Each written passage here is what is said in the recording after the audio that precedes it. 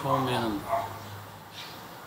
한 시대를 풍미하다가 사라지는 정미소 그리고 퇴직을 앞둔 나. 어, 뭔가 두 대상이 우월했다는 어떤 감정의 교차 뭐 이런 걸 관심을 가지고 작업을 해왔었는데 시간이 지나고 똑같은 정미소인데 똑같은 찍어놨던 이미지들인데 요즘은 거기에 내 스스로 의미를 부여하는 것보다 그냥 거기서 들려주는 얘기가 뭘까? 귀를 기울여지는.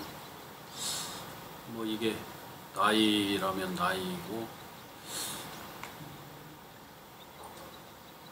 그럼 정미소 작업이 뭘까? 나에게 사진은 뭘까? 사진은 나를 비춰보는 내가 담긴 내 모습이 담긴 것들. 그러다 보니까 사진을 통해서 나를 보는 내가 내 스스로 느끼지 못했던 것을 사진을 통해서 느끼는. 그래서 아마 사진은 남아있는 나, 내 삶을 어떻게 더 잘 살 수 있을까 하는 가장 좋은 친구? 너와 나는 그런 관계. 사진을 잘 찍어서 이름을 남기고 이게 아니라 나를 비춰보는 거울. 그래서 나를 돌아보는 기회.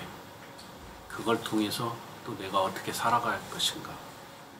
이런 걸 생각하게 하고 행동하게 하는 어, 그런 관계를 정미소로 바뀌고 있다.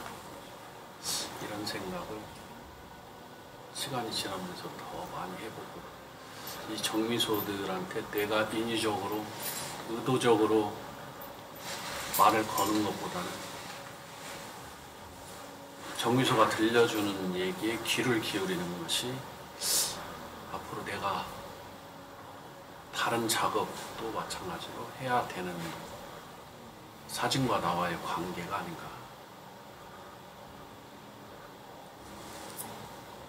그래서 사진은 나의 영원한 친구다. 너와 나는.